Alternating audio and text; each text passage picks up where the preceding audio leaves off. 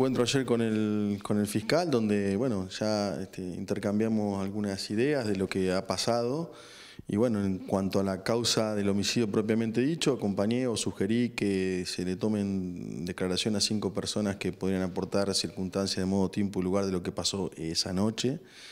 Pero por otro lado ya es evidente eh, bueno, la confabulación o el pacto que se realizó entre algunos policías y el ex delegado, que bueno, realizó tareas propias de la policía sin serlo.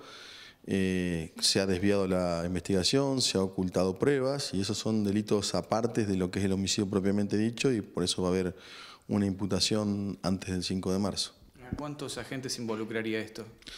Bueno, el número todavía no está determinado. Eh, sabemos, por, un lado, había personas que, que, eran las que tomaban las declaraciones, por otro lado había personas que han amedrentado testigos, sé que eh, todavía no puedo decir ni el número ni los nombres, pero bueno, eso va a ser público en breve. ¿Todos de la localidad portuaria? Sí, es así.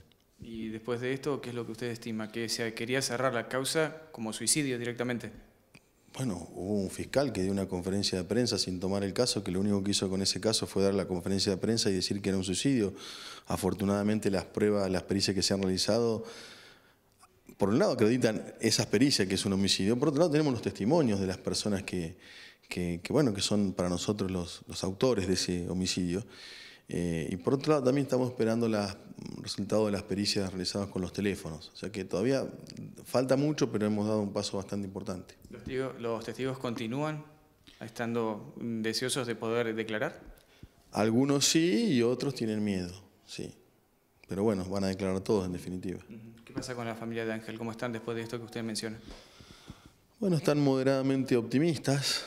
Eh, están peleándola hace mucho, han tenido que sobrellevar bastantes eh, cuestiones complicadas, pero bueno, creo que hubo un avance en la causa y eso es lo que hace que tengan más fuerza para seguir adelante.